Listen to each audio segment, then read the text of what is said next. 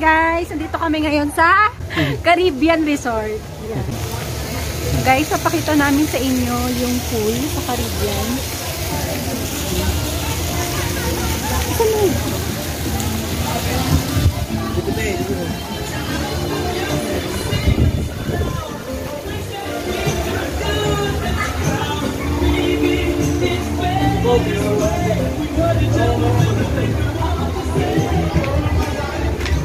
Ito yung pinaka main view. Ito yung pinaka main view sa Caribbean Resort.